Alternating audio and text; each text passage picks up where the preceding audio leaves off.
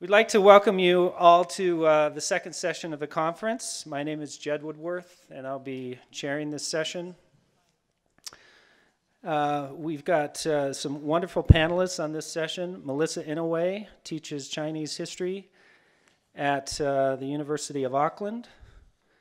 And I, just refer to all the bios at the, uh, at the end. I'm not going to read all the bios. Kate Holbrook, it, she uh, writes history and women's history uh, at the LDS Church History Department.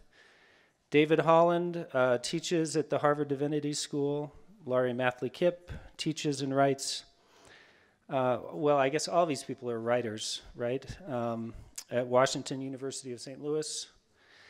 And uh, it doesn't say this in the bio, but the, all three of our presenters have a Harvard connection. We have two, two of them, Melissa and Kate, were graduate students at Harvard. David teaches at Harvard. Um, oh, we have a Yale, Yale, Yaley. Uh, Laurie Maffly-Kipp went to Yale, so there's some friction, tension here on the panel. But also, we'd like to uh, see if the Harvard Crimson comes out, if we can find a common thread in the three presenters. So, with that, uh, I'll go ahead and uh, have Melissa come.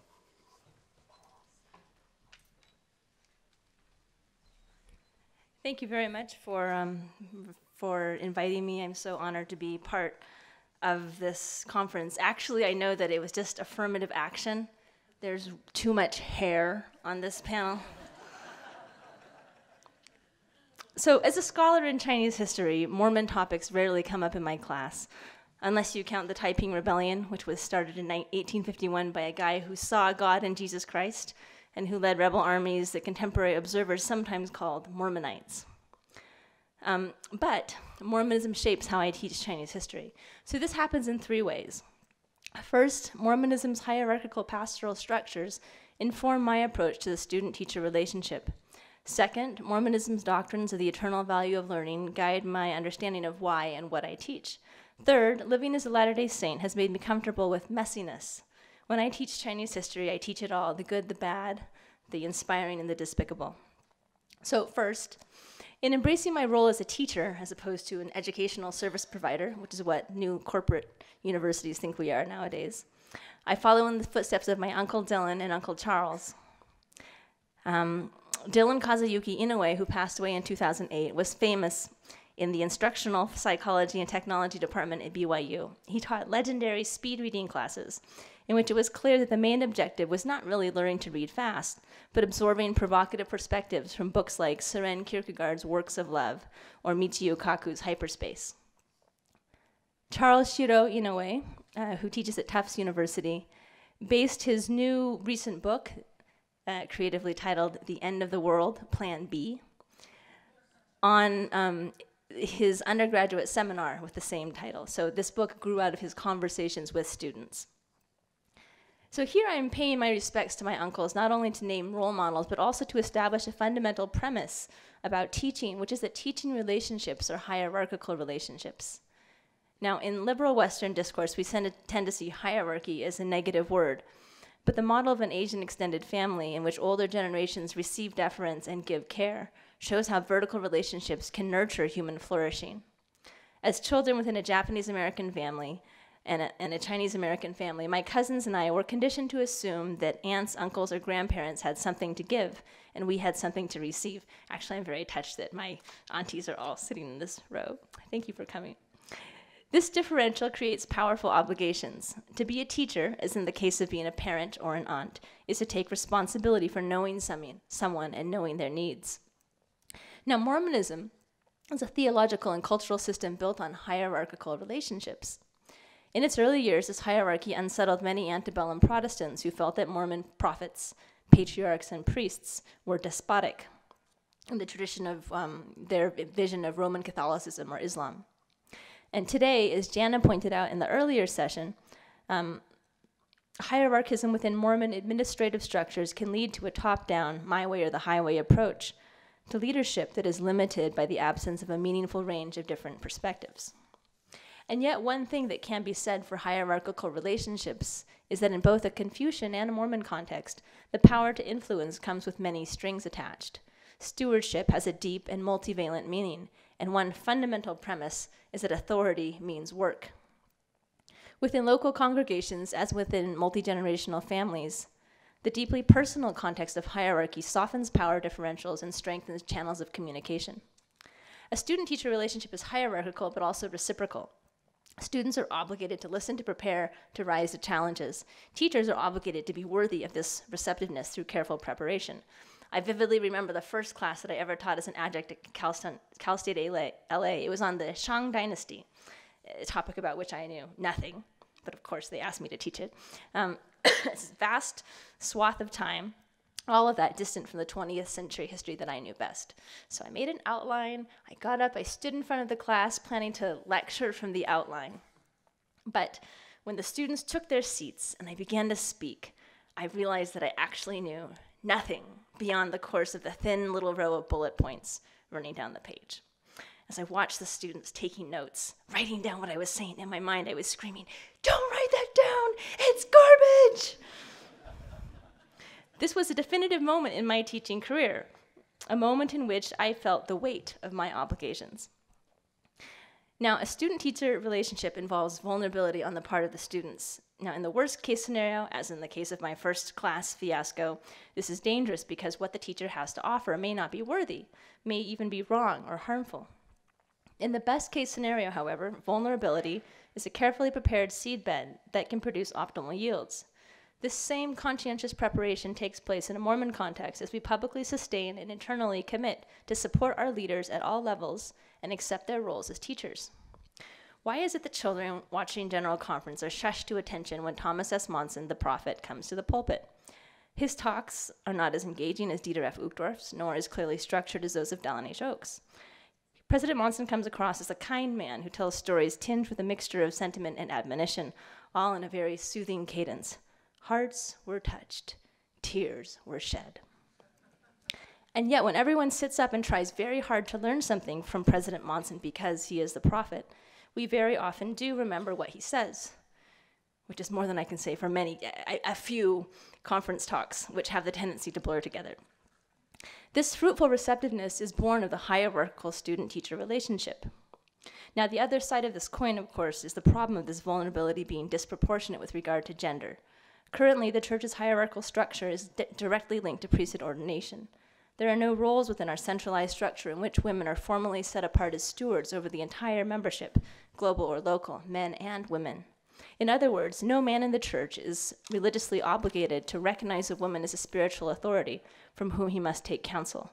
This cannot help but affect how Mormon men think about women and how Mormon women think about themselves. But despite the potential for imbalance and abuse, my Mormon experience has given me a perspective on the positive potential of hierarchical relationships, which inform my relationship with students. Good teaching is a personal obligation. Second, uh, in how Mormonism affects my teaching. My expectations for what the students learn in my class are directly influenced by the Mormon paradigm in which learning is the very purpose of mortal life and an eternal characteristic, an eternal aptitude. Even secular learning, from chemistry to home renovation, expands our capacity and brings us closer to our divine potential, as suggested by the revelation in Mormon scripture that says we are to seek out of the best books words of wisdom, seek learning, even by study and also by faith the realm in which human beings acquire knowledge and skills overlaps with the realm in which we realize our divine nature. Hence, in my mind, I haven't succeeded as a professor of Chinese history unless I've helped the students to see the connection between the study of history and vital, ongoing issues in their own lives. Their lives are incredibly busy and pressurized, a whirlwind of doors to countless futures that are constantly swinging open and banging shut. In such an environment, it is easy to adopt a strategic mindset to compartmentalize getting ahead and being good. This is why they plagiarize essays from the internet. And yet, the two processes unfold within a shared space. It is impossible for one not to influence the other. In the final lecture of a course, I always seek to extend the lessons of history into the lives of the students. So, in a last lecture on October 14th, 2014, I told my modern Chinese history class a story of my days as a lowly PhD student um, researching the True Jesus Church in Nanjing, China. So now you all have to pretend like you're 19 year olds in New Zealand because I'm going to quote from my lecture. I'm quoting here. During this time in Nanjing, I was visited by an older academic who it turned out was also writing a book on the true Jesus Church. I felt quite protective of my research findings. I decided it wouldn't be a problem to help him find the way to the chapel. I would translate for him, but to share my best quotes, my hard won insights with this competitor would be the professional equivalent of shooting myself in the foot. Who would be impressed by a book that didn't have new, rare, original material? I emailed my advisor for her perspective. Maybe there was some sort of strategic framework widely known to seasoned academics to guide how much information I could share and how much I should keep to myself. My advisor, Henrietta Harrison, is an accomplished scholar and a wonderful person. In her reply, she said, I think that scholars should be generous with their scholarship just as they are with anything else. This was a revelation. It wasn't necessary to adopt a new set of values in order to succeed professionally. One's basic values can and should be applied everywhere. It doesn't matter whether you're de- sharing research materials or sharing your lunch. Sometimes when we feel unsure of our own abilities, we feel that honesty or generosity are luxuries that we cannot afford. In fact, the simple act of treating others as you would want to be treated will pay huge, pay huge dividends and make you better at what you do. You can now return from New Zealand and age a few years. I'm not quoting from my lecture anymore. Uh, the third point of my talk um, I teach students that history is messy. Modern Chinese history is full of lofty, inspired ideals and ugly, horrific acts. If you don't know what I'm talking about, you should take my class. My students ask me, How do you feel about China? When I was younger, my feelings about China were unambiguous. First, I loved China for its great expanse, its incredible continuity over millennia, and of course, its street food. Then, after learning more about its modern history, I scorned China for its strongmen, its corruption, its repressive state. Over the years, however, my thinking about China has become more complex.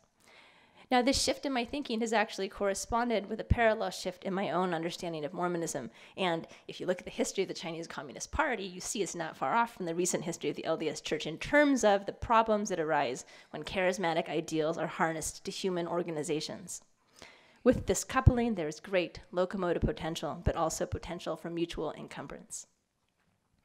Mormon history is too, too is full of problems, as ordinary people struggled with the extraordinary task of building the kingdom of God on earth. It was exhilarating work, characterized by cooperation, consecration, and inspiration, but also by controversy and some serious sketchiness. Amasa Lyman, one of Brigham Young's fellow apostles, later conceded of early attempts to practice plural marriage. Quote, We obeyed the best we knew how, and, no doubt, made many crooked paths in our ignorance. Close quote.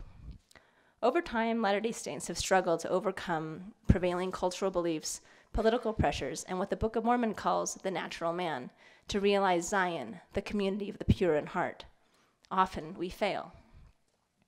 As I have studied Mormon history and thought hard about the meaning of Mormon community, I have become convinced that the Japanese philosopher Nishida Kitaro was right when he argued that the nature of reality is contradiction.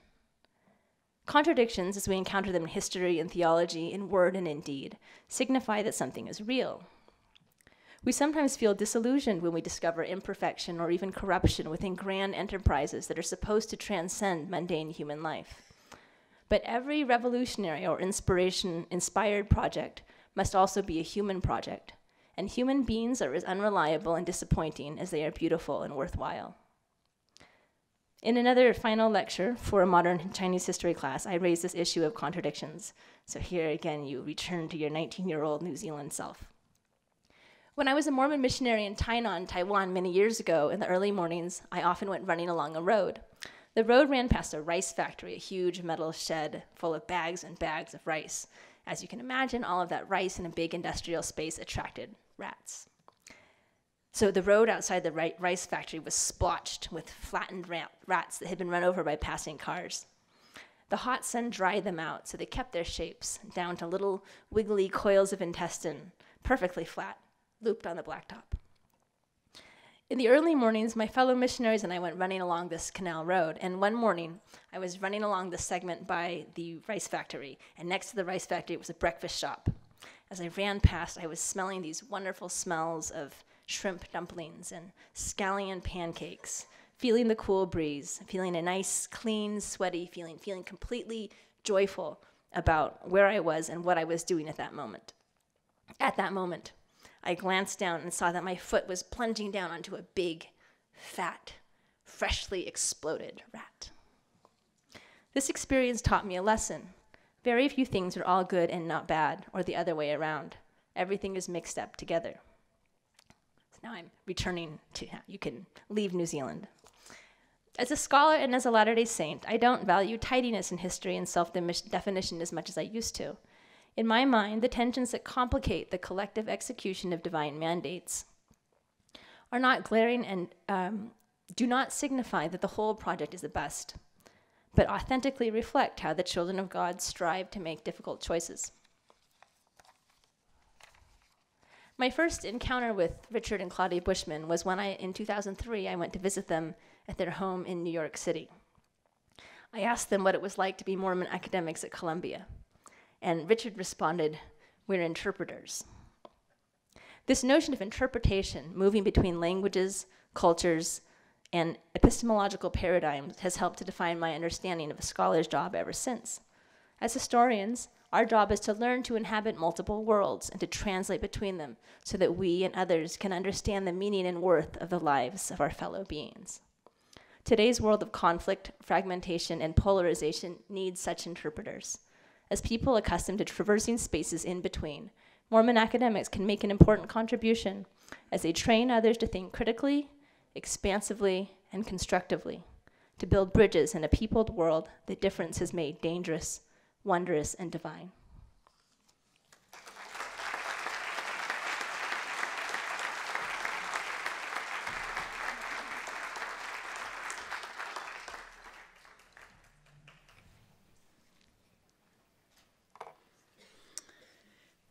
Stories matter, and they matter in complicated ways. The tradition of the Latter day Saints attributes salvific qualities to history, Often we think of history's saving qualities in terms of providing accurate records of events and a means to perform ordinances in temples on behalf of the dead. This paper explores the ways that the dead can also save the living. Latter day Saints acknowledge this in our emphasis on scripture reading, but I would like to focus on non scriptural saving voices. When we study history, we give our ancestors the opportunity to save us as well. History can inspire us to action, either to acknowledge and provide a chance for healing from past wrongs, or to build on past rights. For the dead to save us, some of us have to preserve and publish an accurate and inclusive range of their stories, and all of us have to read them. When church members do family history, they try to uncover the names of deceased ancestors to provide ordinances for them in the temple. This is the way we typically think about our relationship with the dead in the work of salvation. The efforts are about justice, the hope that every person ever born will have the opportunity to choose salvation. Mircea Eliade's work may have fallen out of fashion, but LDS temples certainly do fit his description of a holy place where time and space collapse. Temples are a vibrant nexus where past and present, living and dead, and the wishes of both come into sacred alignment. Often, family history researchers report feeling guided by the dead in their work. A senior missionary at the Church History Library, where I work, for example, reports feeling spiritual promptings almost daily as she searches for biographical information about the dead who appear in Church Historians Press book projects. The family researcher I mentioned is not working explicitly to identify names for temple work. She works to provide accurate records of past lives, to preserve and share their stories.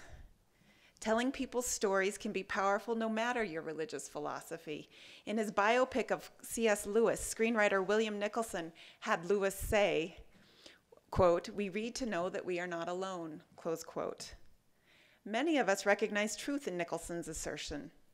Others' stories can help us to make sense of our own lives and experiences. They comfort us. We also find significant meaning in having our stories told.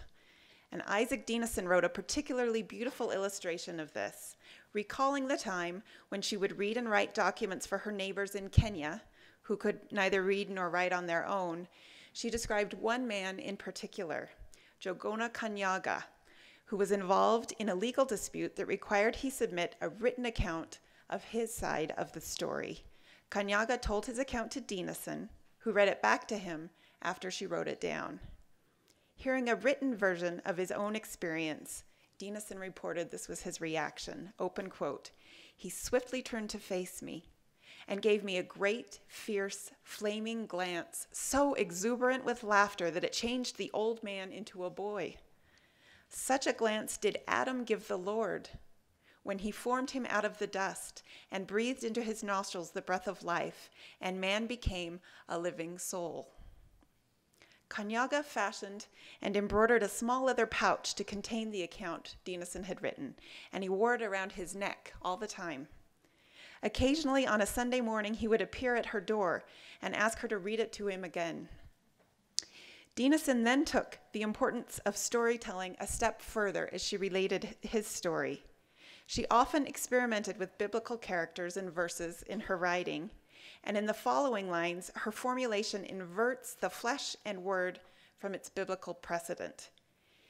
Open quote Here was something which Jogona Kanyaga had performed, and which would preserve his name forever. The flesh was made word and dwelt among us full of grace and truth. The New Testament describes Jesus' birth as the Word became flesh and made his dwelling among us. Perhaps she meant to play with that image of birth, that making the flesh Word is a new way of being, and that this new way of being exudes grace and truth. Referencing Christ's birth as she does also links words and stories with salvation. Jesus was not complete without flesh, and we humans are not complete when our life stories go untold. Dinesen and I may not be doing exactly the same kind of work, but this is the work that historians do to preserve the names and deeds of those who have come before. Kanyaga first turned to the written word in pursuit of legal ju- Kanyaga first turned to the written word in pursuit of legal justice. Historians too can be preoccupied with justice. Brett Rushforth feels an ethical obligation to the human subjects of his books. Open quote, particular the enslaved, he emphasizes, whose lives were spent trying to assert and insist on their full humanity in the face of a brutal attempt to commodify them. In the introduction to a book, he explained the this worldly justice such depictions might achieve. Open quote. If their lives are useful because they illuminate the systems through which they passed, their value is intrinsic. Close quote. Rushforth thus suggests that stories can emphasize a narrative the dead tried to tell, can humanize the dead, and can correct against the institutions and patterns that tyrannized them while they lived. 19th century Latter day Saints felt keenly a yearning for historical records to bring justice. While in Liberty Jail, Joseph Smith wrote a letter to his followers, it's Doctrine and Covenants 123, asking them to record all that had befallen them, including perpetrators' names. He wanted official statements and affidavits.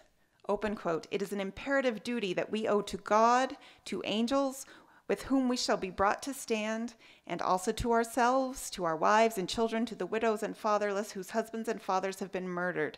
And also it is an imperative duty that we owe to all the rising generation and to all the pure in heart to keep these records. In 1830, he announced the creation of the position of church historian, so that's the same year the church began. And the church historian was to combat false reports and to convert and edify future generations. Historical records were to heal and redeem saints from the effects of patterns that tyrannized them while they lived. Specific violence against women in Missouri has recently captured public attention, and the most solid evidence for that violence came from affidavits. Some commentators have imagined that knowledge of 19th century saints overcoming sexual violence might offer healing for victims of that kind of violence today. In recent decades, Mormon historians have also made a concerted effort to tell the stories of those whom Mormons have harmed, most notably in the study of massacre at Mountain Meadows, in which local Cedar City church leaders were responsible for the deaths of 120 people traveling through Utah during their emigration from Arkansas to California in 1857. We have also contributed to construction of the Circleville Monument, dedicated April 26, 2016, to acknowledge a massacre by Mormon settlers of approximately 30 Paiute men, women, and children 150 years earlier in 1866. Accurate records uncover a truer understanding of what has happened in the past to inform our institutional precedents and individual actions today. How we tell the stories also matters. Professional historians who are also members of the church. So, professional historians who are also members of the church feel a distinctive obligation to the dead they study. One of the great perils that comes from being not only a historian of Mormons, but a Mormon historian is the specter that we might meet on the other side someone we have written about. Historians are not the only ones who face this scenario. I have seen church leaders' efforts to honor their institutional predecessors through their words and through policy. Our representations of those who came before is one of the ways we seek to honor the dead. And thanks to Grant Wacker's excellent lecture last weekend at the Mormon History Association, I have a quotation from Richard Bushman on the same theme. And Bushman is quoted as saying, Someday we will meet in heaven the people we write about. And when we do, we will have to look them in the eye and account for ourselves. Have we told their story as fairly as we know how? Have we told their story without distorting it in order to serve our own agendas?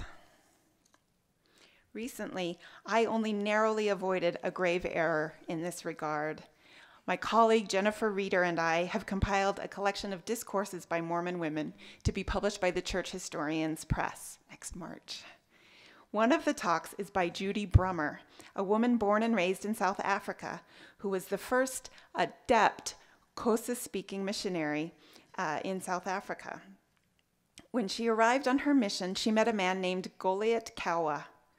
Kawa had come across an LDS pamphlet and based on that pamphlet had founded a church among black Africans that consisted of several congregations, hundreds of people.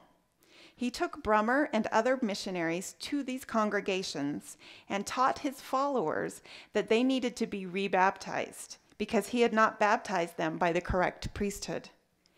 This seemed to me a tremendous sacrifice, as is consonant with the churches Kawa and his followers would have known Church members provided a living for Kawa and his family.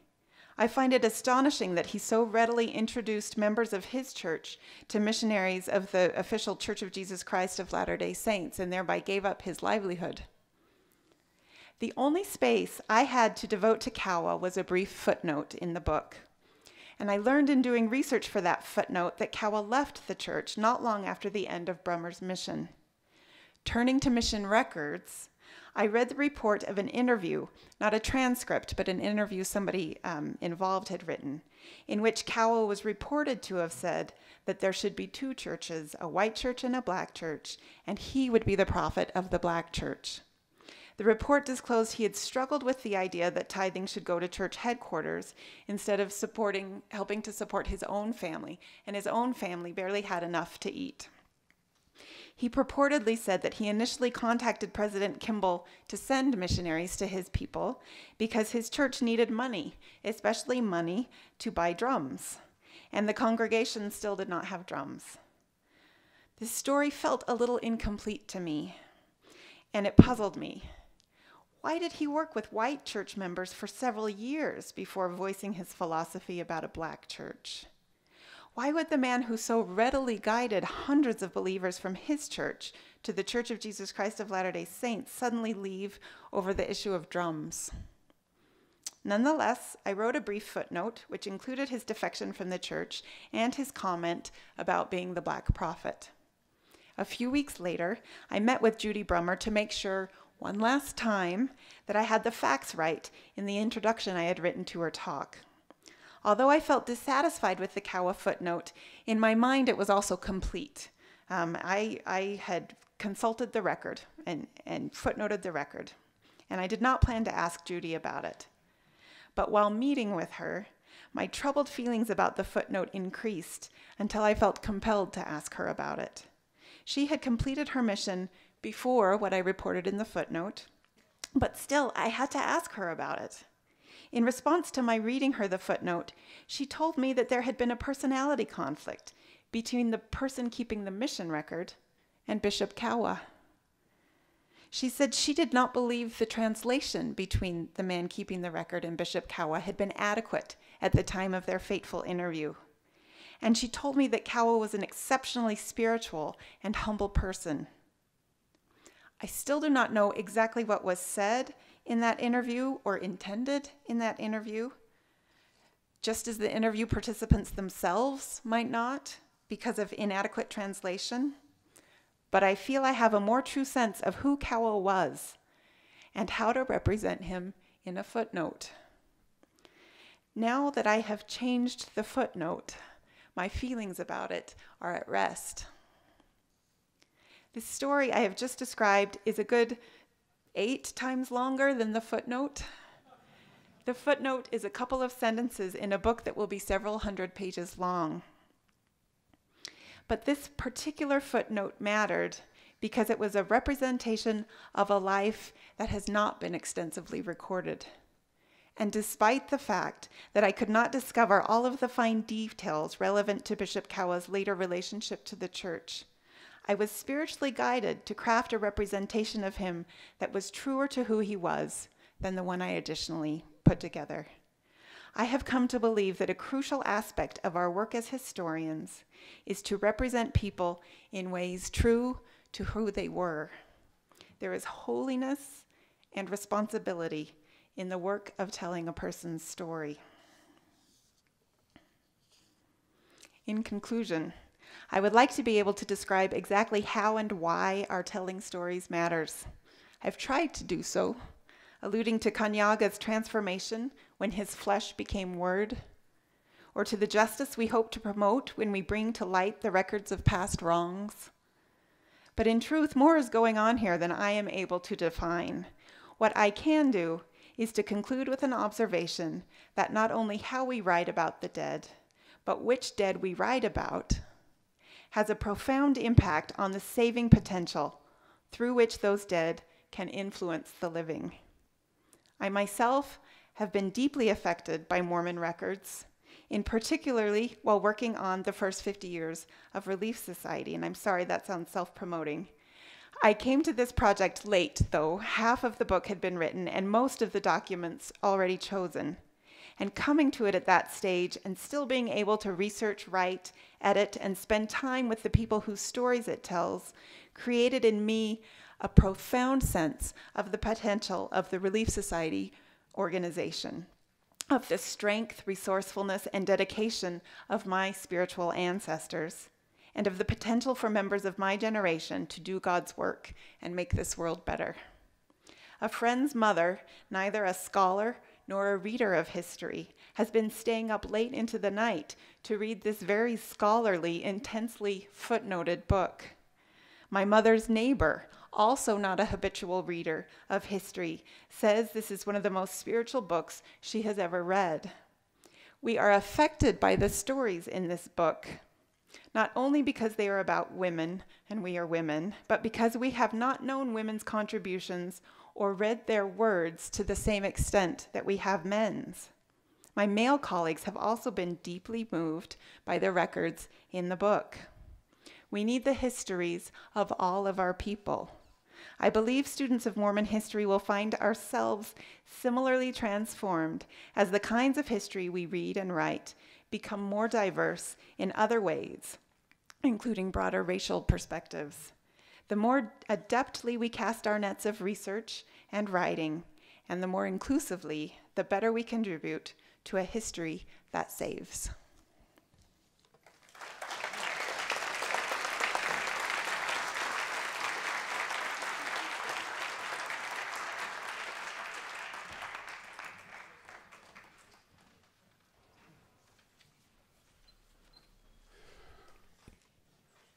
I'm honored and humbled uh, to be a part of this colloquium and a part of this panel in particular. I'm grateful to Jed and Laurie for structuring it for us, and I'm especially grateful to Melissa and Kate.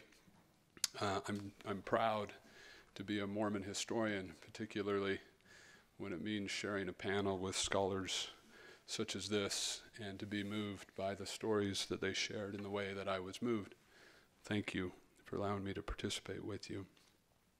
I'm also grateful for the chance to express my gratitude to the people in this room who represent those uh, for whom um, my decision to be a historian uh, is uh, attributable, uh, to whom it's attributable. Um, my parents uh, are in this room. I'm grateful to them for teaching me to love history and thinking and reading.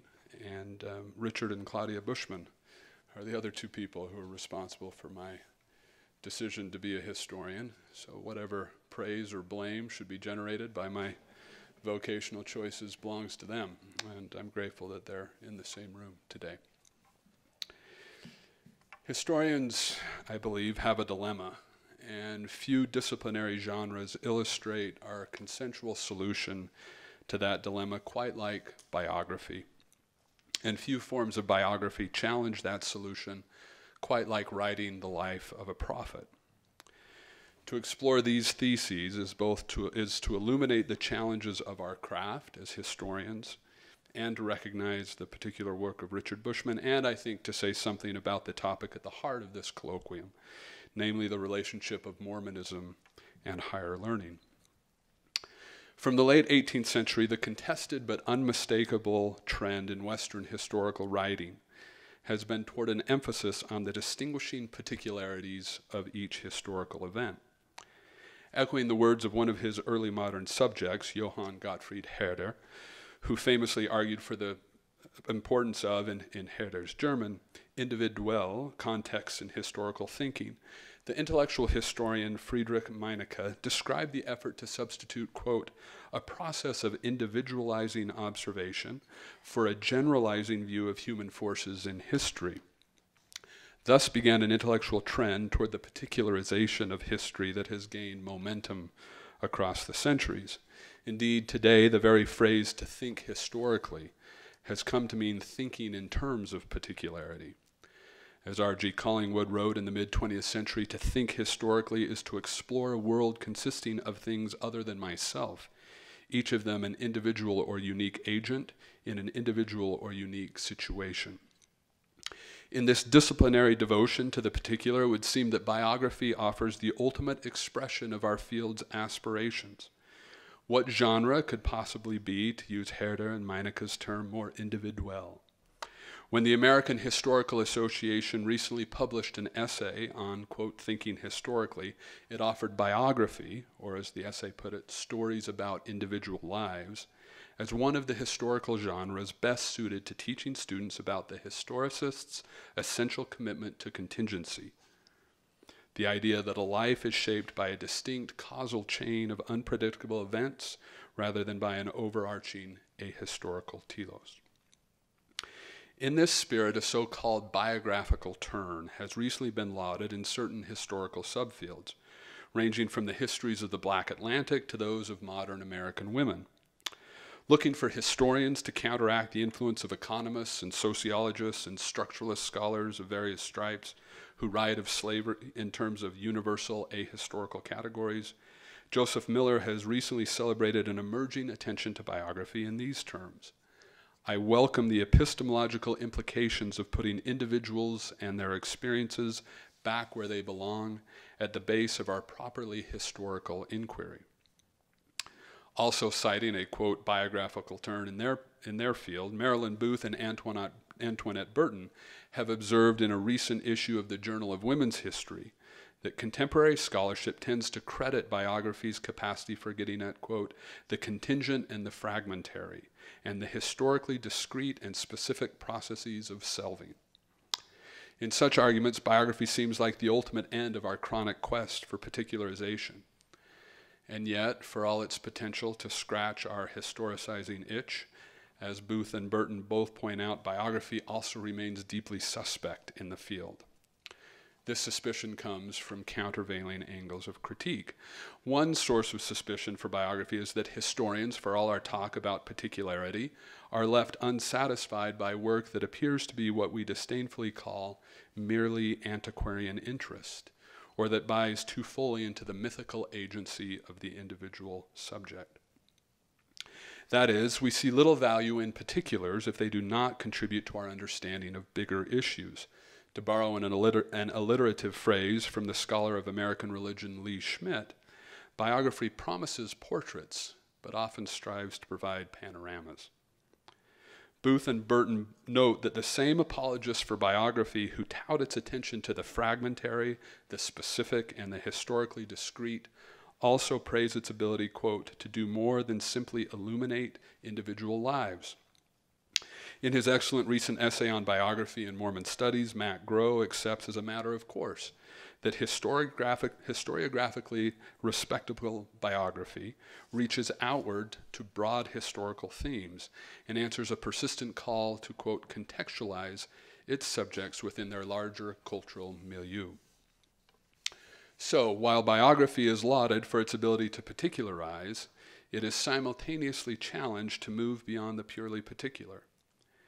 Indicative of this, the historian's dilemma, we also fear that this move outward to larger contexts may move too far in that direction. Indeed, biography, by its very structure, based on a biological life cycle, has the potential to universalize its subject. Biography is an unavoidable reminder that even in a world of modern particularisms, all people are born, all die, and all live in between. Thus, from yet a third angle of critique, some historians argue that biographers risk invoking their subjects as emblems of universal truths about, about human experience. Biographers, the historian of American religion Catherine Brekus writes, have a tendency to collapse the difference between the past and the present universalizing their subjects' experiences instead of contextualizing them.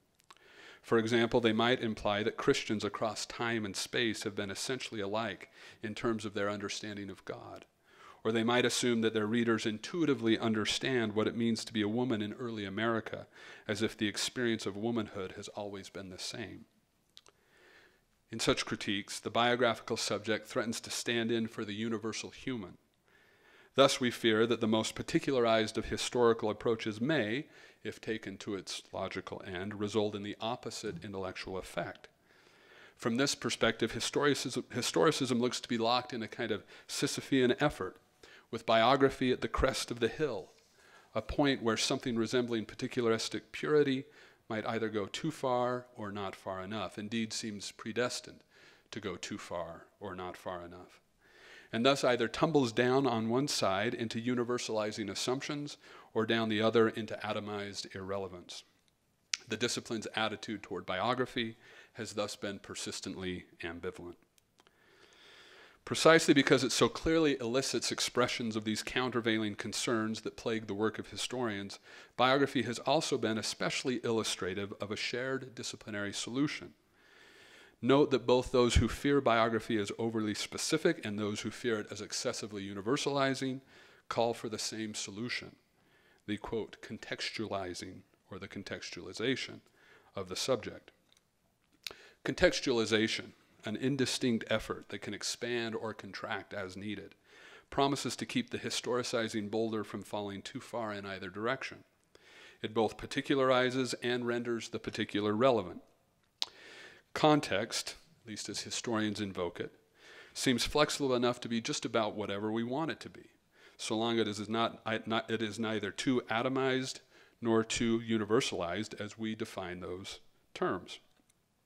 Our arguments about biography make especially clear the perceived threats from which contextualization promises to save us, and also our easy confidence in the power of contextualization.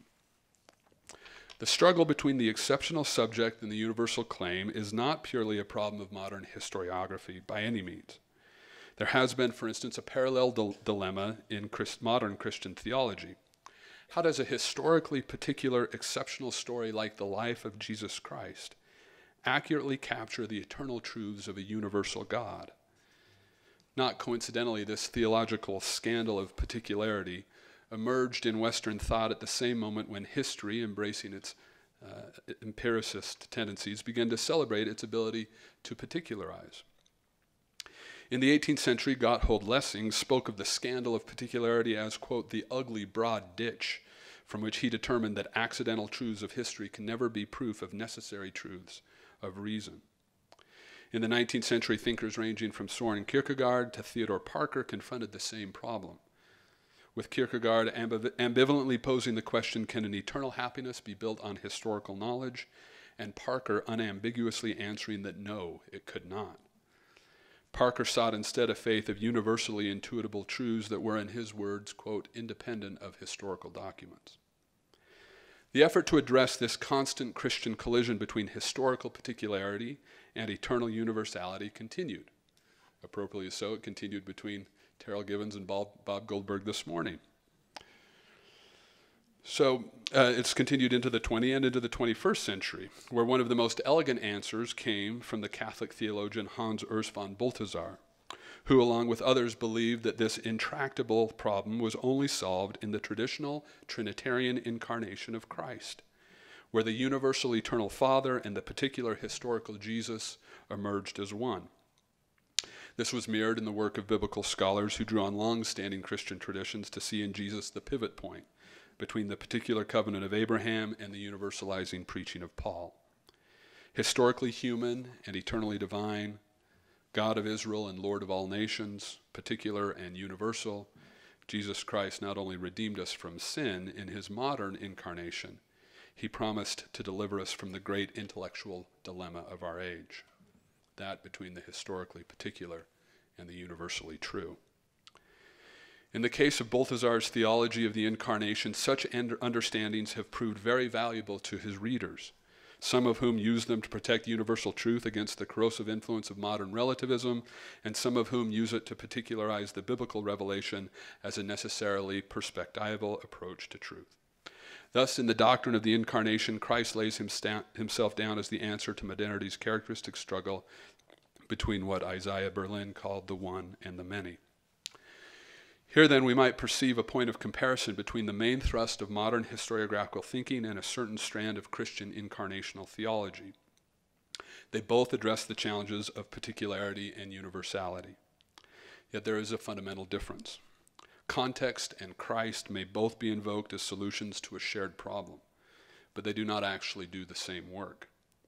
The historiographical insistence on context is largely driven by a suspicion about both the exceptional individual and the universal claim. The Christian appeal to the incarnation is shaped by a determination to believe in both. One seeks to address the dilemma by diminishing its competing terms, the other by sacralizing them. What is one to do then when writing the biography of a prophet?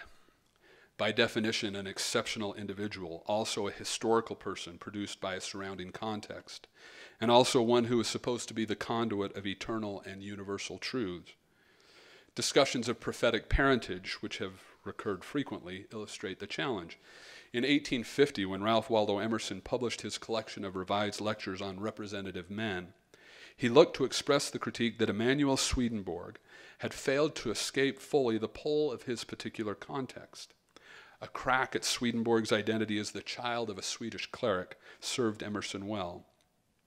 The Lutheran, the Lutheran bishop's son, for whom the heavens are opened, with all these grandeurs resting upon him, remains the Lutheran bishop's son.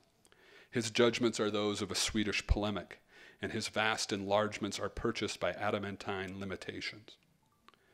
When the famed American Swedenborgian George Bush, progenitor of future American presidents, heard Swedenborg described as remaining a Lutheran bishop's son, he fully caught Emerson's implication and felt compelled to respond.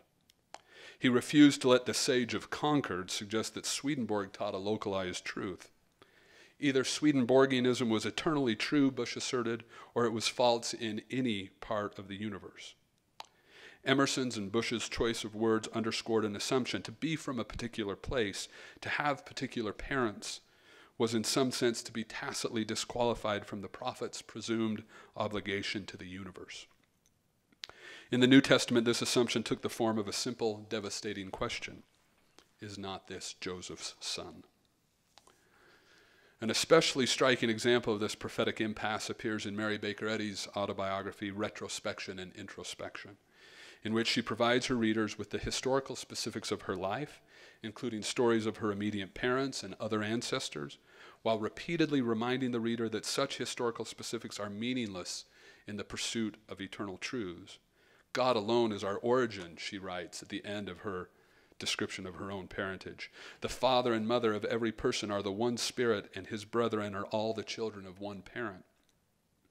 As Eddy's autobiographical ambivalence suggests, the prophet, the figure who occupies a place in history in order to point a way toward eternity, the child of earthly parents serving the eternal parent, stands at the intersection of converging forces. The biography of a prophet marks a distinctive collision point of both theological and historiographical conversations about universals, particulars, and contexts. Richard Bushman's own scholarly autobiography suggests a long term resolve to function within that tense zone of convergence. The Inner Joseph Smith, an article written for the Journal of Mormon History a year after the appearance of Rough Stone Rolling, includes Bushman's reflections on an interest in psychohistory that he cultivated early in his career. Tellingly, as a young historian, Bushman had been drawn to a methodology that promised to grant a certain historiographical gravitas to both the psychological particularities of unique individuals and the general, one might say universal, diagnostic categories in which those particularities might be understood. Bushman grasped early and eagerly at an approach that could be intellectually respectable and still make room for exceptional, exceptional figures and widely shared truths of human experience. For luminaries like Benjamin Franklin and Jonathan Edwards, Bushman had explained much by way of their filial ties Franklin's particular relationship with an earthly mother, and Edwards's particular conceptions of a heavenly father. But Bushman was never quite satisfied with the results of these approaches to secular figures, to the extent that Edwards is a secular figure. To appeal to the impact of one's parents was still an act of excessive particularization on one hand and of diagnostic universalization on the other, and thus unable to explain the enormous cultural influence these men exercised in the in between. Bushman had sought, and at least by his own assessment, which we might push back on, failed to match the work of Erik Erikson, who had successfully made the individual psyches of Luther and Gandhi emblematic of the conditions of their time and place, and therefore more explanatory of their tremendous impact on their age. Bushman knew from early on that contextualization offered an important answer, but he could not match Erikson's comfortable resolution, his peace with the solution. Almost in spite of himself, however, Bushman's quest continued. He could not let psychohistory go, precisely because his recurring work, eventually on a prophetic life, would not let him abandon robust considerations of the individual and the universal. As the inner Joseph Smith shifts from those early days to reflections on rough stone rolling, we catch a glimpse of the mature Bushman's continuing, resolve, a determination to let cultural context do its intellectual work of illumination without fully accepting its invitation to a fair and easy way out of the paradoxes of a prophet's life. He had, by the time of Rough Stone Rolling, clearly achieved a certain comfort with those conflicts. In that biography, Bushman demonstrates his willingness to train his scholarly attention in multiple directions into the historical particulars of Smith's individual home, specifically his psychologically charged relationship with his father, but also pulling the analysis back out from there to talk about the ways in which Smith's pursuit of familial security for himself and patriarchal dignity for his father led to revelations that spoke to the psychological needs of an entire generation of disrupted and displaced American families. Thus far, Bushman successfully follows the lead of Erikson in letting individual psychic appetites sustain generational analyses. But because of Smith's claims to transcendent truths and because of Bushman's personal investment in those claims, he still will not rest with Erikson's contextual deliverance. Quote, does it detract from the divinity of a revelation for it to resolve personal and social problems? Bushman asks in that essay. In this simple rhetorical query, which invokes the personal, the social, and the divine, we see the three levels of analysis for which Bushman has created space a father, many fathers, the Father. To give all three a place in the story of a prophetic figure's life is to accept the good work that context does, but to refuse its offer to obviate the demands of the individual and the universal. That resistance to easy resolution, a certain persistent discordance that seemed to trouble him in the stories that he told about Franklin and Edwards, seems easier for him to live with in the life of Joseph Smith. For half a century of scholarly work, Bushman has wrestled with this dilemma of the particular and the universal, exceptional figures and common human experiences. As a committed historian, he has embraced the explanatory power of contextualization and its ability to tame the two poles of our dilemma, allowing that commitment to pull him back from what he perceived to be the deficiencies of his early psychohistorical work. But as a tenacious believer in both exceptional individuals and universal truths, he has refused ultimate satisfaction with contextualization's claims to sufficiency. He has graciously accepted its illuminations, but not, but not its absolutions, standing resolutely at that intersection where historiographical and theological anxieties most conspicuously collide. In this process, he has offered us a certain intellectual humility, a certain comfort with, appreciation of, but ultimately a challenge to the easy comfort and confidence in this thing that we call context, in its ability to count for all of the things in the human experience.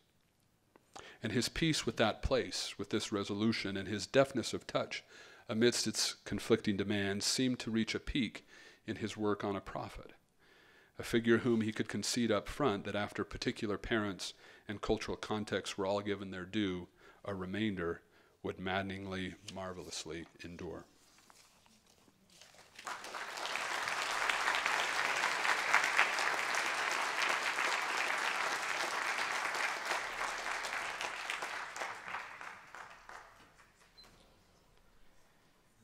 Afternoon.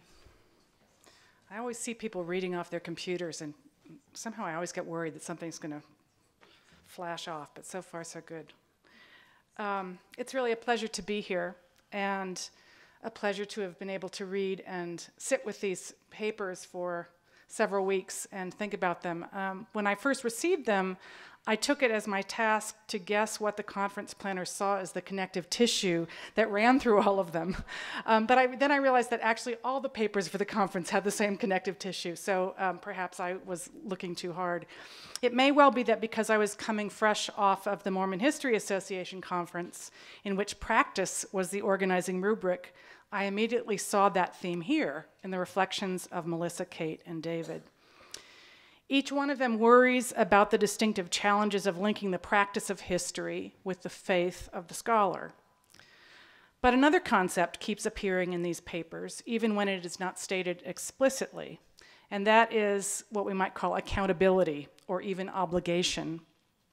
Accountability provides an organizing framework by which each author judges the kinds of historical practices he or she employs. Each one also contributes, I think, a particular strand to the story. Melissa focuses our attention on teaching and the mutual obligations that the student teacher relationship generates. Kate explores the relationship invoked between the living and the dead as historians craft their narratives. David questions the appropriate balance between particularity and universality in the writing of biography. Taken together, these papers offer a number of promising ways to explore what we are doing when we practice history, be it in the classroom or in print. And so I'm going to raise just a few questions for each of them in turn and quickly try to get us onto our uh, Q&A time. First of all, Melissa describes the ways that her Mormon identity shapes her teaching. Her goal, as she says, is to get students to think broadly and carefully about basic questions of meaning and human value. The ways that she does, does so are shaped by her Mormon beliefs in a number of ways. Her socialization into hierarchical pastoral structures shape her sense of mutual obligation in the classroom, with a little Buddhism thrown in there, I think. Her expectations for student learning are informed by belief in the eternal value of learning and growth. And third, practicing Mormonism has made her comfortable with messy contradictions and unresolved tensions in human communities.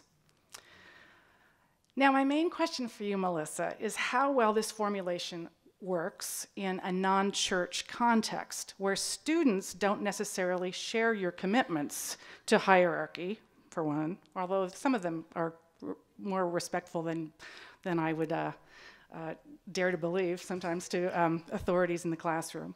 But um, there seems to be a translation issue that's going on here between a church context and a classroom context. Now, I don't know, you didn't talk much about your students. I'm assuming they're not all LDS students, right? So, what does the sense of mutual obligation mean when you are teaching non Mormon students in that context? Does inculcating those expectations require you to spell out the Mormon pastoral context? Or do you find another idiom for talking about this dynamic with them? How do you socialize them into this kind of dynamic? And if your work is in part to help them become who they want to be, I think that's the way you put it, how do you train them to have this expectation of themselves? Creating the kind of dynamic you describe in your classroom is a real art, and I want to hear more about how you bring your students along with you on this journey. A second set of questions that I have for you revolve around the role of history in the learning process. Much of what you describe, it seems to me, pertains to the process of learning generally considered. What difference does this subject matter make, though? Does history make? And why can it achieve the goals you describe better than other subjects might? Or can it? Why history? One of the points that I take from your talk, and this is just sort of, I, I think I'm pulling a, a, thread and seeing if there's uh, what, what it's attached to. One of the points that I take from your talk is that history in particular offers students new possibilities in their lives at an especially opportune moment. I love your point that college age students um, are already face what you call a whirlwind of doors to countless futures constantly swinging open and shut. Was that your line? That's a great line. um, a whirlwind of doors. Um, this, it's a terrific insight, it seems to me, and it causes me uh, to wonder whether history can be used to take full advantage of this life phase in some particular way. Can we employ historical narratives to help them make sense, the students make sense of their own decisions? Or is our job simply to show them the doorways? Another way of putting this, where does the critical faculty come into play? Are we just there to show them the doors? Or are we there to, to help them decide which doors are the right ones to walk through? Um, so that's sort of the, mor- the, the moral leading of the question. Finally, your celebration of messiness is near and dear to my own style of looking for outliers and contradictions. You know that already. I wonder, though, how we might put this in conversation with David's focus on persistent in, discordance in the aims of history itself. Is messiness always a good thing? How does this square with the desire to find absolute meaning, David's universal level in history? I'm struck especially by your concluding statement that Mormons are good at living with untidiness and even better bridge builders or translators. Now, I think this is one strand of the Mormon story, but I also see, as, I, as you know, such a st- strong centripetal tendency that moves towards standardization, orderliness, and absolute meaning. So, what are we to do with the, with the messiness in the face of those ordering tendencies? So, that might be another kind of contradiction we want to play with. Community and collective obligation also figure prominently in Kate's paper. She encourages us to focus on the work of history, family history especially, as in itself sacramental, history as sacrament. It forges a connection between the living and the dead and calls on individuals to fulfill obligations to others by telling their stories. And it also, as she puts it, saves those who are living by providing hope and companionship. In order to be saved, Kate tells us, the historian must pres- preserve an accurate and inclusive range of their stories. This is a lovely reflection on accountability in our writing, something that can be very easy to forget. So I thank you for the reminder, Kate, that studying past lives can put us in conversation with people in different eras. In the Mormon context, as you point out, these discussions beyond the veil have a particular salience. But I wonder whether it isn't true more generally for many scholars. You never know who you'll be face to face with in the afterlife, Mormon or not. Uh, I will never, I mean, I have sort of a story, a his, history story myself about this. I will never forget, and I think many historians have these stories. I'll, I'll never forget poring over the diary of a Protestant missionary in the archives when I was working on my dissertation, reading through years of his life in California with his beloved wife, including the story at the end of the diary of her tragic death, which just about did me in when I read it. Then I was putting the diary back in the, the big box uh, that contained uh, these artifacts from him. I reached into the box and inside the box were, were her wedding slippers. And it was just one of those moments, and we, we have all had those moments with artifacts or objects if we're historians, uh, an incredibly humbling moment of discovery when you're brought face to face with the humanity of your subject. So I'll come back to this, but I'm, I want to hear more from you about what's, what's specifically Mormon about that encounter for you. Um, but there are also problems with stories because, unfortunately, they're rarely straightforward and rarely only decipherable in one way. And this is re- where the really vexing work, as you know, starts. Kate gives us a number of evocative ways of describing this historical practice, and it is here that I want to probe a little further with some questions. What does it mean in practice to tell someone's story? To provide an accurate record. These are phrases you use in your piece. To provide an accurate record, to heal and redeem one's subjects, to tell their story the way they would tell it. To represent it, does this also mean to represent it using our own standards of justice and judgment? And then, worst of all, what if it is a story that we don't like? or a person that we don't like very much? How do we tell that story? To what extent is this kind of storytelling, as you also put it, a new creation, as the phrase making the flesh word might indicate? Something new is coming is being born and coming into being, which seems to indicate more authority on the part of the historian than some of these other phrases. There's so much messiness in figuring out what constitutes a life, so much that seems contradictory or confusing, and so much that requires us to choose what is important and unimportant as we sift through evidence and accounts. The fact that Richard Bushman's work is a jumping off point for this conference seems perfectly appropriate, I think, since in his own magnificent biography of Joseph Smith Jr., he too sought to tell someone's story. And this proved to be really, really difficult and not straightforward at all and not everyone agreed that he had gotten it right. What happens then for all of us when the obligation is serious and compelling to tell the story, but you aren't sure exactly what that means? So I'd welcome your wisdom and conversation as we also struggle with some of these basic questions about that. This also takes us to the issue of audience. And Kate, again, does a lovely job of noting the obligations when doing historical work within and for a community of faith. I wonder then does this context, or should this context, change the shape of our accounts? I don't think that historians in general talk enough about who they are writing for or why they are really writing.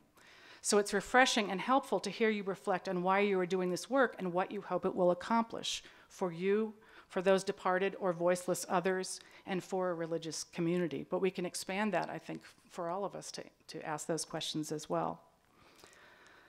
Finally, turning to David's paper, I'm struck, uh, David, that you also use the word saving in your title. There's a lot of saving going on here. Uh, but here you're speaking of the saving grace of context. And you turn our attention much more closely to biography, although I think Kate's comments also get at the biographical form in many respects. Uh, David points to another historical problem that biography presents for us how to narrate the particularity of a single life without falling into antiquarianism on the one hand or complete universalism on the other. Now, just as a side note, it's interesting too that this historical task is qualitatively different from that undertaken by Kate, who seeks, seeks to particularize the experiences of the previously voiceless. In fact, uh, part of the sacrality of that act, as you describe it, Kate, is, the, is given dis, giving distinctiveness and detail to it. And I wonder, I would love to hear the conversation between the two of you about whether that's a good thing or whether that's just antiquarian. Um, now, my first point for you, David, is an observation. Kate's paper claims that the telling of the individual life story is valuable, even wholly, in and of itself. Yet you point out that this kind of thinking is, in the larger world of scholarship, not a typical way of thinking about the value of biography.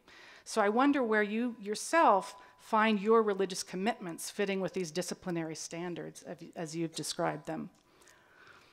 You also do a really nice job of showing how, how Richard Bushman creates space for the personal, the social, and the divine in the life of Joseph Smith Jr. And you contrast this to the uneasiness with which he earlier treated Franklin and Edwards, and how he felt easier living with a potential discordance in Smith's account. It seems to me that, that Richard also wrestled with a different dilemma in writing about Smith. For Joseph Smith was not, for Bushman, the existential equal of Franklin or Edwards. He meant something different. So, how then was the dilemma of historiography and sacrality transformed by his subject matter and his own relationship to it? This is the point that Kate's paper in particular drives us to How does our own relationship to our subject sacralize the historian's task? Richard wasn't just writing about a prophet, he was writing about his prophet. How does that matter? David also eloquently disentangles the strands of historical thinking, I think. But history, as Kate also points out, serves various purposes that are more elided in David's account. So, does it matter that Richard Bushman was writing for, at least in part, an LDS audience? What difference did audience make there?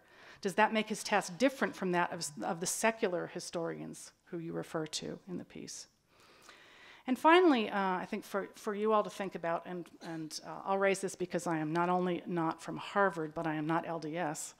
So I'm a double outsider on this panel. What is particularly Mormon about these ways of teaching or writing? Both Melissa and Kate, I think, make a strong case that their self understanding is refracted through the lens of their faith. And Richard Bushman certainly articulates those linkages elegantly in, in his own writings. Yet I wonder how many of these questions and concerns are more universal. Historians constantly struggle with issues of obligation and accountability. I also wonder um, if we, whether we should follow more clearly the path that David is setting out before us. Can we find analogies in other religious traditions that can help Mormons gain purchase on the problems of history? We so often, I think, in Mormon history take an exceptionalist perspective. Well, this is our problem. This is a, this is a Mormon history problem. In fact, there are, are people, as, as David's paper suggests, in other, uh, uh, other religious traditions who have struggled with some of these same questions. And it would be interesting, at least, uh, to do some kind of comparative work in that case.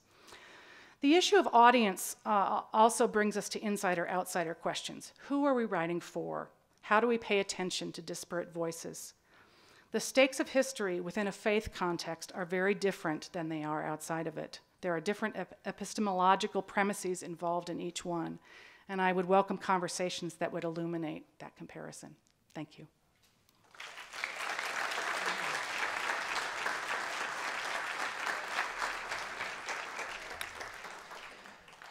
We'd like to thank all of our uh, presenters today. This has been a wonderful session. I think we should give each of the presenters a chance to answer the questions that Laurie has posed. I think they could probably take up the balance of the Q&A time, but we don't want to do that. So we'll ask you all to answer her questions in 30 seconds each, if you would. No, just kidding. But in reality, maybe a, two minutes only. Um, so let's start with uh, Melissa. Let me just restate as I understood the questions.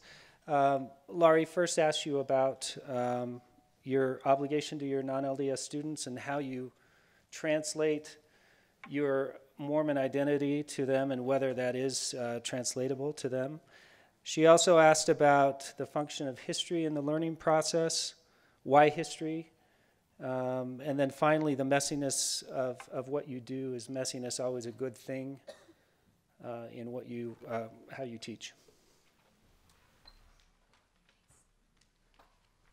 Uh, thank you for these very thought-provoking comments. You know, actually, in my two years of teaching at the University of Auckland, I've only had one Mormon student. So I wouldn't say that I'm translating my Mormon identity to them, but I am a Mormon and I am their teacher. So that's what they get. They just get a Mormon teacher.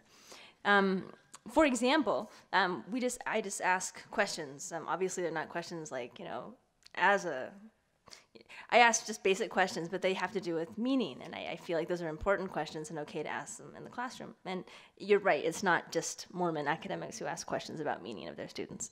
Um, so, for example, you know, we're talking about the um, establishment of the Communist Party in the 1930s and how they're creating this society, and you know, we talk about how Mao established boxes. Um, where people could inform on one another very conveniently. They just like write down, you know, their critiques and put it in the box, and for people who had incorrect political views or suspicious behavior. And then I ask, did this system encourage moral behavior? So, so we just ask questions like that. Was Mao a good person? You know, we read a variety of perspectives on Mao that talk about how he was great, horrible, then all these other things in between. Um, why history? The um, uh, I think history. You're right. History is important because it's about um, the lives of others, right? And um, you know, I teach, I tell the students, you know, through this class, especially a modern Chinese history class, in which these incredible, you know, incredibly difficult things are are happening in China revolution, war, invasion, famines, floods, all these kinds of things. Um, from the experiences of people in China, we learn that life is wonderful, painful, beautiful, and hard. And I tell them, as you keep on living, you will learn this from your own experiences until one day your life too is somebody else's history. Um, the third question is messiness always a good thing? No, but um, I didn't say that. Uh, I think this this um, Mormon academics are particularly good at dealing with messiness, um, and I think that being able to process things that aren't always tidy are, is a, um, that ability is, is very helpful. Um, it's, it's good to be able to be productively address those tensions and contradictions instead of being paralyzed by them because life is messy. Um, the, I'll, I'll, just try to finish very quickly since I've only been given two minutes. Um, exceptionalism, you know, are Mormons really so different from other historians? Probably not. It's hard to make those distinctions, right? Um, I don't know if um, the way that I am as a teacher is actually heavily influenced by my Mormonism. I mean, I have no way of figuring that out, but it is what I do and it is who I am.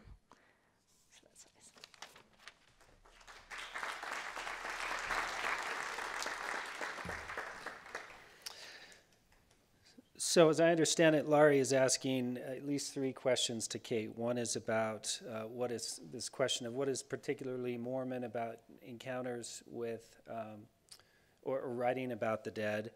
The second question is about uh, what does it mean to tell someone's story, and uh, is it desirable to always tell the story that someone would want told about themselves? Do they understand themselves as well as we might understand themselves, or what parts of their lives?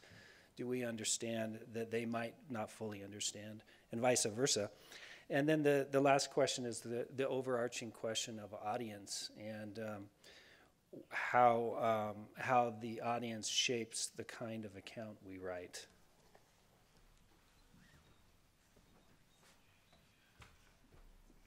I'm not going to answer all of those questions. Um, I will in the, in the longer version of the essay, so read, read the book. Um, but I wanted to say that I was particularly grateful to you for making me see what was in the back of my head while I was writing, but I didn't know how to deal with it, so I just repressed it. And, and, and that was the question of what makes my Mormon historian experience different from that of another, another historian who believes in an afterlife. And, and so part of me is going to investigate and try to ask questions about that. But part of me thinks we maybe need to rethink of the boundaries that, that we're using. Maybe the difference is between a, a historian who's who's sensitive to what in, in the black church we talk about as a cloud of witnesses, the real presence of uh, the dead in the around and in the lives of the living and uh, and maybe there's a category of people who believe in an afterlife and believe that you meet people in the afterlife and then maybe there's a category of people who don't and the experience of writing history as one of those people is is different. So i'm, I'm going to leave it at that. I'm glad you understand that you don't need to clap after the comment here. So even though we wanted to clap kate it felt felt like we wanted to do that.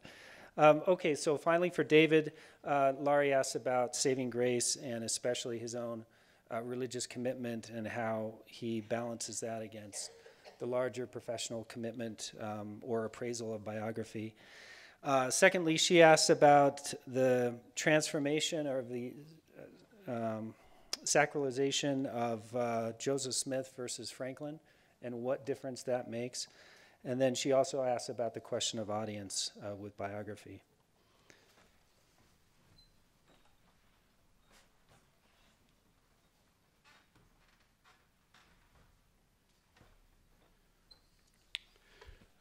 Um, first of all, in reference to uh, to the title and, and the phrase "saving grace," it was actually intended somewhat ironically because I don't think context does ultimately save us from the historian's dilemma, uh, though it gets us uh, an admirable way down that path. Um, so, uh, so the, the salvific power of context, I think, is too easily embraced by members of our guild. Uh, and one of the things I appreciate about Richard Bushman's work is it invites us to question that comfort a little bit. Um, and that, that speaks, to, Laurie posed this question about the relationship between Kate's paper and mine. Uh, and asked whether the, the kinds of highly particularized personal stories that Kate recovers and tells so wonderfully well um, violate uh, the, the sort of binary that I, that I set out in the paper. I'd also like to make clear that, that the, the claim that those kinds of stories are of, quote, merely antiquarian interest uh, is, is not my claim, um, in part because I actually believe in a universal human family. Uh, and I actually believe that those stories are my stories in a way, that we are part of the same story. Uh, and I think that's a commitment that Richard Bushman shares, and that's one of the ways I think he challenges the, the binary that we would otherwise set up. Um, and why sometimes a larger context isn't necessary for us to appreciate the power of a particularized story. Um, and then finally, this this question of um, of Richard's uh, treatment of Joseph Smith versus his treatment of Franklin and Edwards, and how that might relate to, to our treatments of other figures. I, I will say this. Um, what I hoped to convey in this paper is that Richard Bushman has liberated me as a historian who is now working on other people's prophets. I'm, I'm writing a book on Mary Baker Eddy and Ellen White, the founders, respectively, of Christian Science and Seventh day Adventism. And in treating his prophet, Richard has created space for that remainder, something beyond the contextual explanation for these remarkable figures. And even though these are not my prophets, I feel empowered by his example and by his work to create similar space for them. That I can, in fact, appreciate the exceptionality and the wondrousness of these prophetic women, even if I don't share their theology or joining their movement. But that he has set an example of how one responsibly and respectfully engages a prophet uh, and leaves room for things that might lie beyond the historian's go to explanatory tools. And I'm happy to be able to apply that to other people's prophets as well.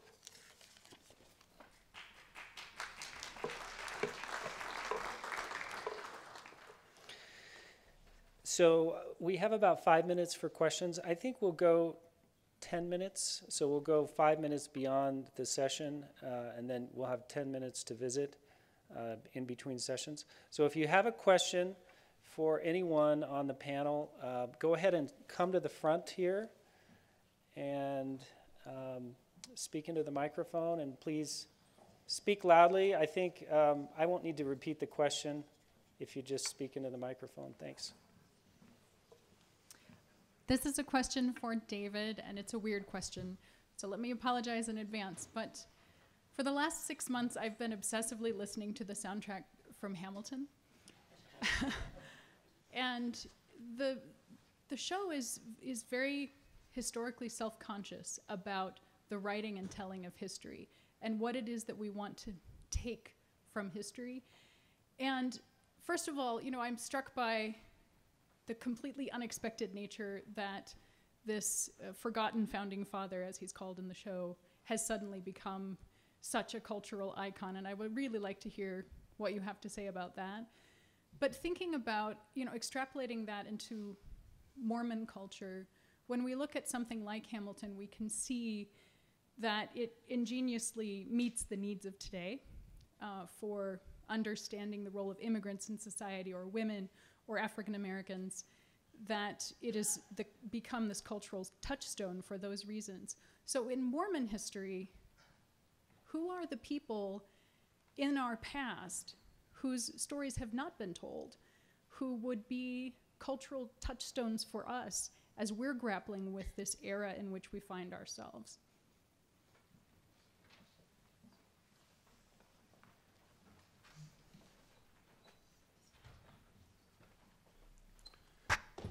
So I need to say, Jana, that my only experience with Hamilton is foolishly and naively thinking I could get tickets four months in advance for my anniversary, uh, only to realize they're 18 months uh, in advance booked. So, uh, so I can't speak too directly um, to, to Hamilton, um, but I, I do appreciate. I've, I've been fascinated by uh, Hamilton since long before he became a, a cultural phenomenon. Um, and I think in part that's because we are gratified by the surprises of history, as you put it. Um, I think, you know, Hamilton is often set in this um, juxtaposition with Jefferson, and Jefferson for a long time seemed like the easier American hero to respect, but today is very difficult to respect uh, in lots of ways, at least for me. Um, and Hamilton, as his foil, uh, offers us uh, an alternative, a challenge and uh, and I think we appreciate that. Um, at least I do. Who who in our own history um, would play a similar role? I really have to make recourse to to Kate's paper again, which is to suggest that in the process of doing what we are all under divine obligation to do, which is to recover the stories of unknown people who may in fact be biologically connected to us, but as family history extends, those you know, uh, biological ties get more and more tenuous, and, and yet we're still in this process of recovering nameless, storyless people. And those are the people that I find most, um, most meaningful in, in my own spiritual, religious life. It's not the ones who become a Broadway hit, it's the people that I discover through confession here through my son's family history work, since I'm not very good at it myself.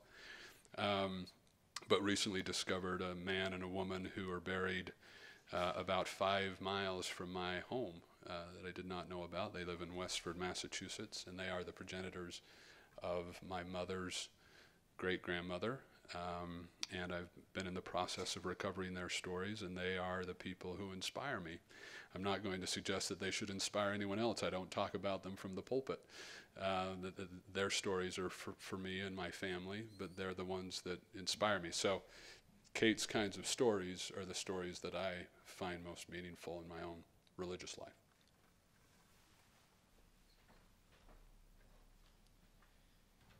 This is a question for both uh, Melissa and Kate. I'm trying to bring forward a thread that was, um, uh, I guess, established to some degree about the international aspects of church history. And let me let me put the question this way. Some of the questions are rhetorical, but I think you'll see the thread.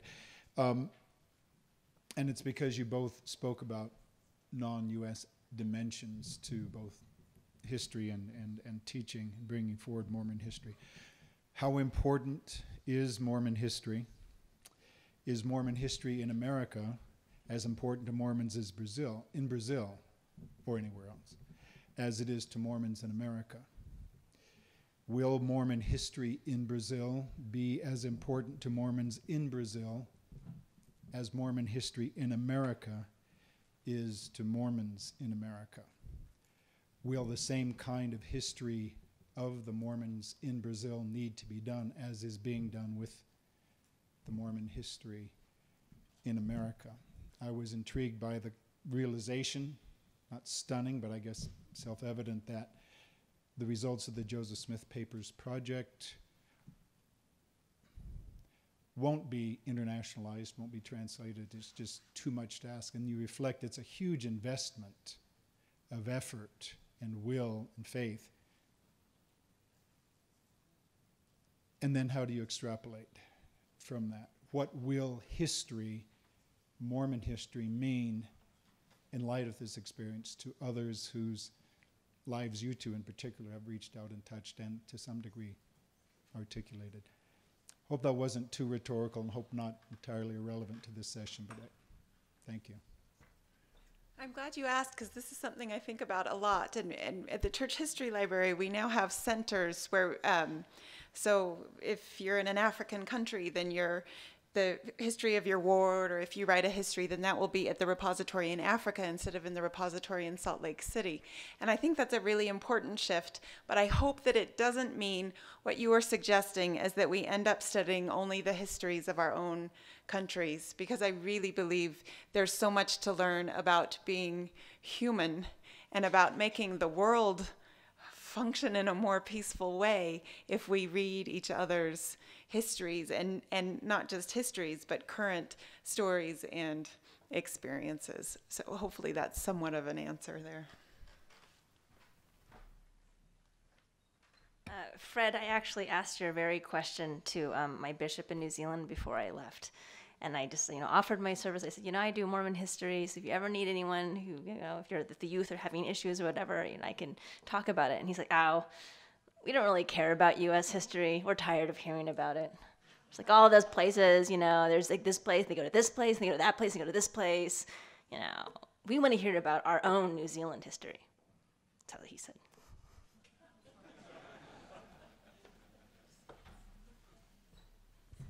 I'd like to ask a question, kind of combining Janice's question and the last question about universal, about the international church.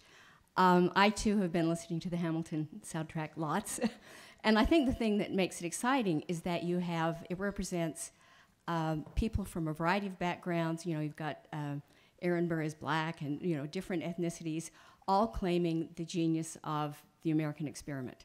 They all get to celebrate it. It's not just white men. It's everyone gets to celebrate that. So, to what extent, in the writing of Mormon history, is there a way for us to say that uh, all our ethnicities, you know, all our backgrounds, all our different perspectives can still celebrate um, the genius and the insight of the Restoration? Um, how can we do that in the same way Hamilton brings that all in to celebrate the American experience? Is that what history should be about? Can we do that? What do you think?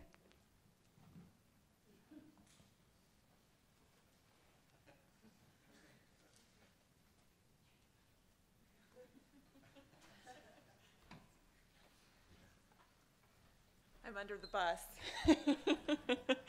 Catherine, I'm not sure I followed exactly what you were getting at, but it, it, sounded like it was something about the beauty of the multiplicity of voices and, and flipping of, of race and relationship in the Hamilton production and the founding of America. How does that compare to what historians are doing? Uh, so it's not just so it's not just international people studying American history uh, what relevance does that have to them? What relevance does the story of the pioneers have? But yet somehow recapturing uh, what the restoration means and making it relevant to various people with various different backgrounds internationally, genders, race, sexual orientation. How can we recapture, you know, the excitement of the restoration the same way that Hamilton captures that excitement of the American experience for a variety of ethnicities? Um, there we go. I, I, I don't know that that's something we can intentionally set out to do, but uh, something meaningful to me once I was when I was new in my job and I was wondering about uh, what would happen uh, when some of the things I was working on came out, and I think I was trying to I wanted to have some sort of control over it or something because I felt responsible for it and and had a chance to ask El- Elder Holland this question and he said you do the best work that you can and then you let it out there. And he had a beautiful metaphor about how like water it will go where it needs to go to the seeds that it needs needs to find. Um, I, I, and I, I, think the only other thing I would want to say here is um, we often say American history, and we're not adequately at all telling our American history or our American Mormon history yet in, in the Mormon studies field. And um, we have native peoples um, from different tribes who are Mormon, whose whose stories really aren't being told. We have people with disabilities whose stories are not yet um, very often being told, um, and and one of the tensions that I was thinking of while David was speaking, although I don't think this is what he was getting at, was it's so important to have different stories told and to connect to those stories and connect to those histories. Uh, but at the same time, sometimes it gets so that we're it seems like the maybe the consumers of history are saying where's my history and they're complaining if they don't see their history and and and it becomes uh, sort of a selfish relationship with history in, in some ways. So I, I don't I don't know that this is making much sense, but I, I, I hope that in our call for inclusive history, we're not only looking for for our own history, but we're looking um, to really understand um, that at the human experience, the human trial, and, and, and human salvation a- as we're um, going about this work.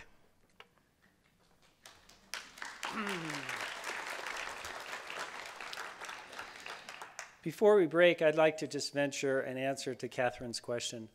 So, at the LDS Church History Department, one of the things that we talk about often is the difference between a trunk story and the difference and a branch story.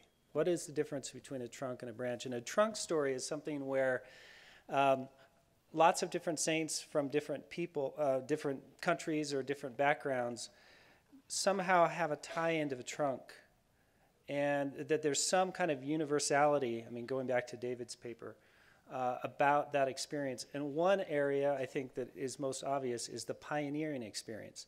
So it's particular in that it's Utah, it's Salt Lake, um, the the quest to arrive in Zion, and yet is it really particular? It's sort of universal, because lots of different saints have their own pioneering story, and every country indeed has its own pioneering people who have to uh, go out into that country as being uh, some of the initial members of that country. And what is that experience like? How is it um, to be a Mormon in surrounded by people who don't believe as you do? Uh, I, I think there's a universality in many of those experiences. Then the next question becomes how do you choose who gets represented? I think it goes back to Kate's question. Every country has its pioneers, and there isn't enough space, so who do you pick? Um, and I think uh, some of those questions regard well, who has the most dramatic story? Who has a, a narrative um, that is compelling, for example, um, that has abundant detail? So that gets back to the age old question of what a historian does, how you practice history. You find accounts um, that are rich, effulgent, that have a lot that you can work with.